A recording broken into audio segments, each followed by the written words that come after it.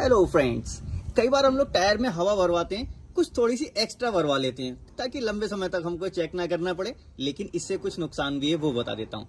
देखिए, जब भी आप टायर में हवा भरवाएँगे एक्स्ट्रा क्या होगा? टायर का सपोज़ कीजिए 32 का लिमिट है, आपने 35 कराया। अब जब आप हाईवे पे लॉन्ग रन करते हैं, गर्मियों में टेम्परेचर बढ़ता है टेम्परेचर की वजह से इसका प्रेशर बढ़ जाता है। और वो जाकर 40 तक पहुँच जाता है। और ओवर इन्फ्लेशन की वजह से टायर आपके बीच से घिसने लगते हैं, इस जगह से घिसने लगते हैं। यहाँ का हिस्सा आपको देखेगा कि सही है, लेकिन बीच से धीरे धीरे टायर खराब होने लगेंगे और जल्दी आपको टायर चेंज करने पड़ेंगे। छोटी सी इन्फॉर्मेशन थी, अच्छी लगी हो तो यहाँ पे लाइक ज़रूर कर दीजिएगा।